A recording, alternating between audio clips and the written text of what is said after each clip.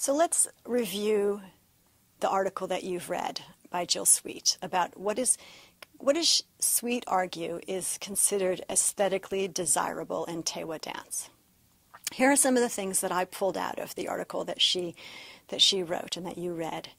The idea of many dancers moving in perfect unison the idea of a controlled and understated dance style that no one is standing out or you know jumping out in the front and being the best that everyone is kind of understated and controlled. That gestures don't extend far from the body center. So unlike you know a really high kick or an arm that reaches way way out to the side if i do it my arm will go out of the screen. Whoop! but um, that idea. Um, movements are held in close to the center, and there's not a lot of um, stretching out or reaching out from that center. Steps, according in sort of the same idea, the steps are small with little elevation. There's no like ginormous leaps. Women keep their gaze low and their manner demure. Men can be a little less exuberant, I'm sorry, a little more exuberant, but a contained style is still essential. So these are some things that Sweet notices are desirable in Tewa dance, things that um, dancers strive to do, strive to um, present, strive to perform, strive to practice in their dancing. More things that she mentions are this idea of the group moving together, never being disturbed by someone who dances too hard. Again, this idea of someone sticking out. It's much more important to be in sync with everyone else than it is to be the best at what you're doing. She writes about how repetition and elegant simplicity are valued both in the music and the dance, that there's a sort of elegance to the simplicity, and uh, what's valued is the repetition, the, the ability to repeat. Those are values that she sees in the dance practice. Sincerity and respect are valued both in the participants, those dancing, and in the observers. And the idea that those watching are part of the ritual, part of the communal experience, and also responsible for contributing to it. So the onlookers aren't just onlookers, they're also participants. And she talks a bit about humor and how it also is something that's very valued in Tewa dance.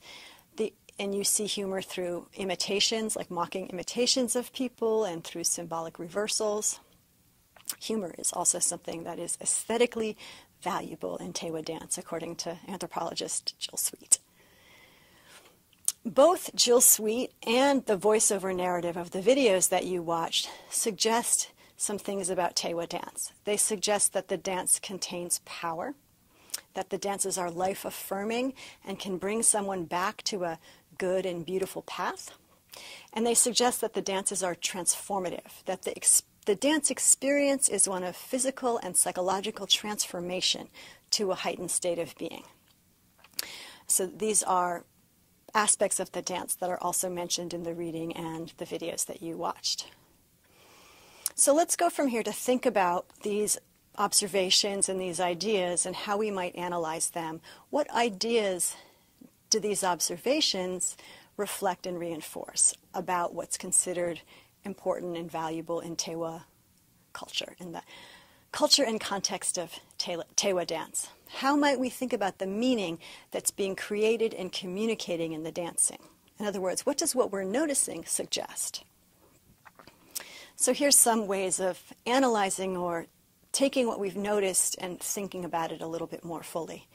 This idea of unison, the idea that you know, one person shouldn't dance too hard or be more noticeable than another person, that everyone needs to stay together and that what's valued is being a unit and moving in sync together. This suggests that in this culture and context, the needs of the individual are secondary to the needs of the whole community. That it's more important to be in community, in connection with others, than it is to stand out yourself as an individual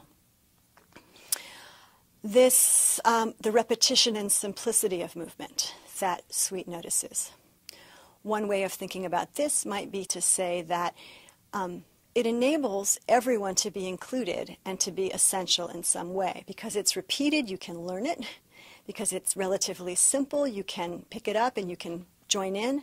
So it enables everyone to be included in some way men and women, children and elders, dancers and viewers. Their roles may be quite different, but there's a place for everyone, and everyone has a way of being part. Um, the idea that um, I think got shown in the videos, if not discussed directly, of subtle changes, of that there's really small perhaps, but specific and important differences between the way a dance might be done in one community and in another community, in one family and another family, in one clan and another clan.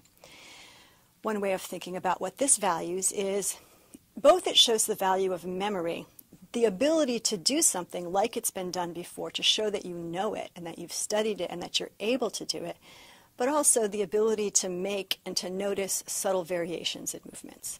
So there's a real value of memory and creativity and attentivity, I would say, the, being attentive to small differences, to seeing and noticing that's being valued in this dancing.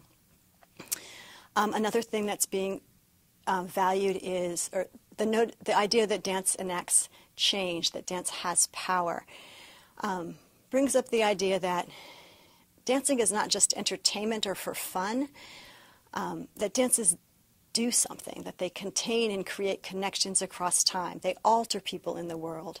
So there's an idea that this dancing is crucial and uh, vital, and that it is not just um, you know exercise or something to do to you know keep yourself occupied. That it has a real force in the world and a belief in and an understanding of and a value of that force of change.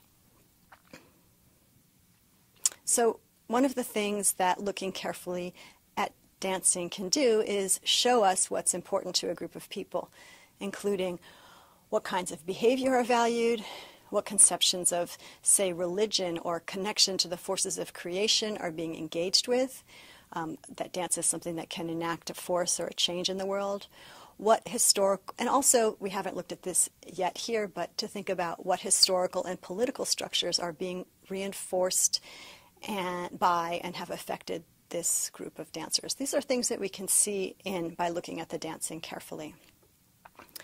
Um, so to review that idea in this particular context, in this particular example, um, the question of politics and history. We notice that um, or I asked you to think about, and hopefully you noticed that in the examples that you looked at, the singing was in Tewa, it's in an indigenous language, and the voiceover is in English. So you see two languages going on here, a multiple multiplicity of linguistic locations, and we can think about how this shows a history of um, colonization of indigenous peoples in this region by English-speaking people that you have languages that are being spoken within the group to the dancers between themselves as they sing um, with one another and for one another. And then there's English that's being used to communicate and um, express and make known some of what's going on to people who aren't part of that community. You can see that in the way that the dance is being represented in the film. Religion. You can think about the way that the weight and the energy of the dancers is being directed down. There's not a lot of elevation, there's not a lot of leaps. The energy is going down and staying fairly close to the earth. Suggests um, earth based ideas of where power and divinity lie, suggests that, that going into the earth is what's valued. We could think about that just by looking at the movement. Behavior. We can think about how the way that the dancers move together most of the time, with no one dancer being forwarded as the best, and the way that what's valued is being modest and kind of demure and looking down and not standing out and suggesting humility, uh, th- that these suggest humility and group connection as really important values in this dance form. That this dance form, if you think of it as a kind of history book or as a etiquette guide or as a, you know, manual to a way of being in the world is teaching these different things. It's teaching this history and this politics, it's teaching this understanding of where power lies and how power works, and it's teaching particular kinds of behavior.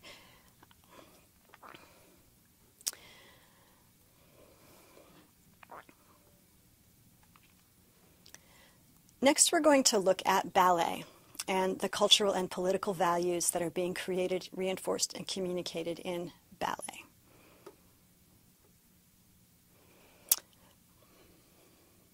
So let's start by watching a couple of examples, or um, one particular example, and looking at some images.